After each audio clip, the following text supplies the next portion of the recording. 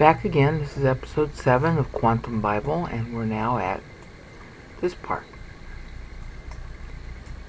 It starts 476, which is when Odo, Odovaker overthrew the last guy, Romulus Augustus, who's right here. Where's Romulus? Why am I? Yeah, there he is. Okay. He died after 476, but he was deposed in September. It's going to be real important to go into the months in this increment. He was deposed in September by Odovaker. So the question is, okay, what happened? Why didn't the East do something? Well, first of all, we got Anthemius dying, Anthemius dying in 472 right here. Allah. Leo, who was in the East. Anthemius was his like um, related because um, his son married Leo's daughter. Okay, I don't know what kind of relationship you call that between these two. And Leo was at you know emperor of Byzantine. He dies right here. So when An Anthemius dies in the West, there's a power vacuum and a lot of jockeying around musical chairs. Leo, for his part, was not feeling real well. He ends up dying of dysentery or possibly some other kind of ailment two years later. So he's not really well enough to do a, a lot about it. Plus, he didn't actually want to do a lot about it, but they tried. Not very hard. Mainly because Leo was always facing some kind of opposition himself. Not a lot, but some and his own wife was kind of trying to instigate things too. So when he dies right here, the next two years, 475, 476, when Rome actually falls because Odovaker takes it over. They weren't, the people in the East were not really doing a whole lot because they were busy fighting over dynast, dynastic succession. So they really didn't bother a whole lot about the same dynastic succession arguments that were going on here. They tried to do a few things, but not enough. Okay, so Leo finally dies right here. And that dynastic succession uh, fighting that was going on at the lower levels, remember? This is setting the tone. Seven heads and ten horns. Okay, head means like you've got authority. Horn means you got power. So you can have authority and power or just power or you can have just authority but no power. Alright? That's why I said, you know, don't don't focus on who are the seven and who are the ten. First of all, you're not going to know for the real tribulation. Secondly, and actually more importantly, he's giving you a paradigm of history here. So learn the idea. The idea is that when Christians are busy fighting with each other, see, Haimatos, Hamatos means blood. When they're busy having their little civil wars with each other, then the whole world goes to hell in a handbasket. And instead of instead of anybody doing anything, everybody's just standing around like John talking about himself here. He's just standing there looking shocked. And we're all busy wringing our hands over all these things that are happening. Meanwhile, that provokes a sort of uh, civil war amongst those who aren't Christians, who are usually in power. Okay, here's the thing for power, here's the thing for authority. And so there, as it were, it's contagious. When we fight amongst ourselves, it's contagious to those who aren't Christians. Alright? And so they're fighting with each other. And that's really why we got what we got going on in the U.S. right now. Okay? Seriously. It's the same thing happening now. That's why I'm stressing don't worry about who the seven are or who the ten are. Learn the bigger lesson about the fact of them. And that fact of them permeates what happens in here. And especially at this point when there's nobody heading. 75 76. What's going on in the West is musical chairs who's going to be emperor next and one guy gets it, and then he gets the deposed, and another guy gets it, and he gets the deposed. Well, the same thing is happening in the East. So we have another power vacuum. And it's really fascinating that God uses this word to describe it. Hupo means under, truncated to hoop here.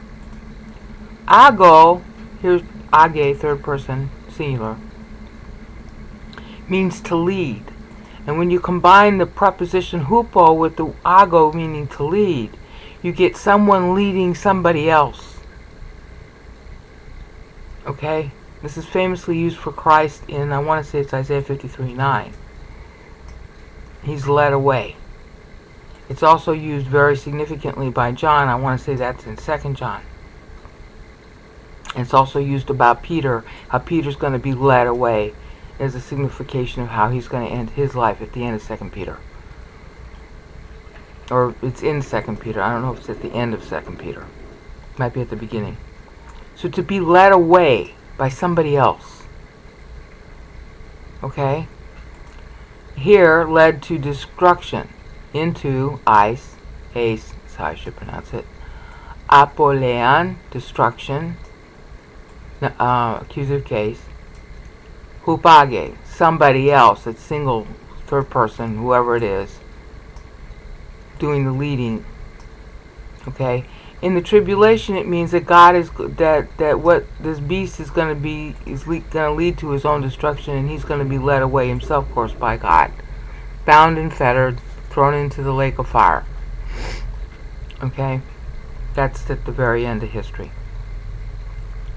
now so it's making a play on that because all of this stuff I just said was already in scripture by the time John writes this okay so he these words have a pregnant meaning to the reader.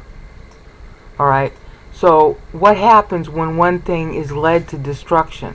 Well, there's a kind of chaos because if you don't have a, a stable who's going to come next succession, then there's a sort of chaos where everybody's trying to be the successor. And that's what happens here. Right in here. Age, who's going to lead? You see the cleverness of this? You have to know the etymology of the word hupago in order to get the joke. Hoop means under. Okay, well now both this guy and this guy are under. Six feet under to be specific. And who's now going to lead? That's the battle that's going on during the very during the very time the word lead is outlined in black for two years. Finally, at the end of those two years, specifically in September, Odovaker comes and says to Romulus Augustus, Hi, you don't exist anymore. However, in that same year, there was another guy who rose in the East due to the game of musical chairs, a guy named Zeno. Now, technically speaking, as soon as Leo died, or very, very close to that, there's a little bit of an argument that goes on over who's to rule next. But it's basically his son because he's married into the family but his son gets sick and there's a lot of problem there. But it's like almost you know the same year Zeno comes to take over for his son technically. But and this is this is the point about seven heads and ten horns and all those marital alliances that started, you know, with Pulcheria being the granddaughter of Theodosius I, and Marcian, and then Galla Placidia, who is related to Honorius, being the mother of Valentinian III, and all their advisors, and there's all this cross marrying between the advisors and, and relatives of the royal family, the imperial family that's where you're getting the seven heads and ten horns, and they're all fighting with each other because by marriage or by blood or by some other connection, they're all related to the imperial family for succession. Poor Zeno ends up being, as it were, a, a sort of apogee of that.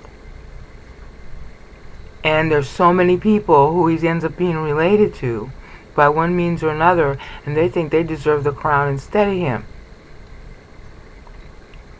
So yeah, his his son comes to power, but it doesn't last.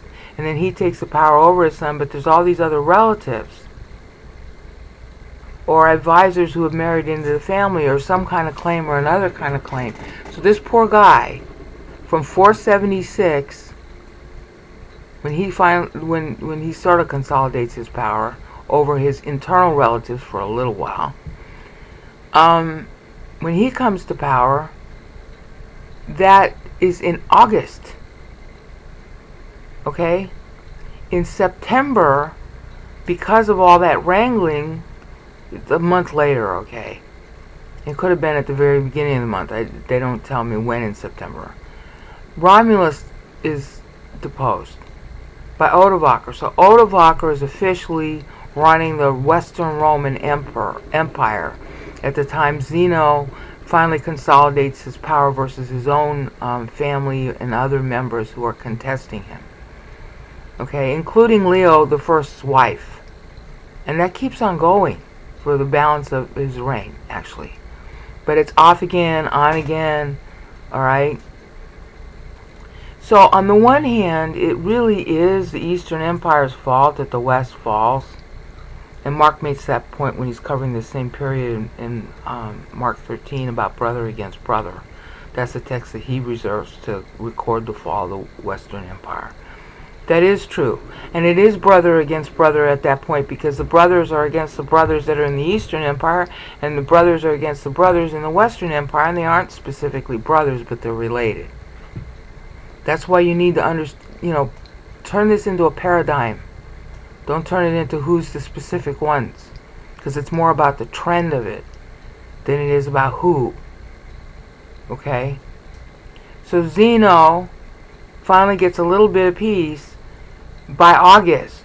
In September, because, you know, hello, Italy's kind of far away from Byzantium. In September, Odovaker takes over.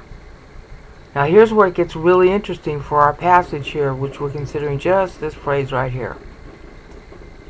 Which says, and they will wonder all the inhabitants of the earth. Literally that's what that text says. It's not saying what they're wondering at, you get that in the next couple of phrases, but they will be they will be dumbstruck is a better phrase. Dumbstruck in amazement, astonished all the inhabitants of the earth. And it's real important that this phrase is used.